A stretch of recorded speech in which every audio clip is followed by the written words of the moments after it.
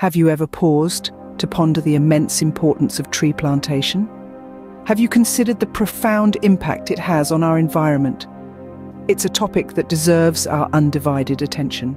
In the heart of India, Madhya Pradesh, often referred to as the Heartland State, has been leading the charge in tree plantation. The state, known for its diverse flora and fauna, has been making significant strides in the field of environmental conservation. Under the Green Credit Plan, Madhya Pradesh has planted trees over an impressive 954 hectares of land.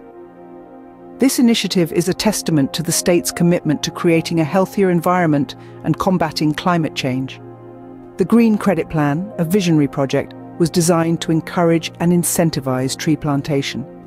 It leverages the power of the community, involving local people in the process of reforestation. The impact of these efforts is far-reaching. Tree plantation not only helps reduce carbon dioxide in the atmosphere, but also contributes to biodiversity, providing habitats for various species of wildlife. It aids in soil conservation, prevents water runoff, and contributes to the overall beauty of the landscape.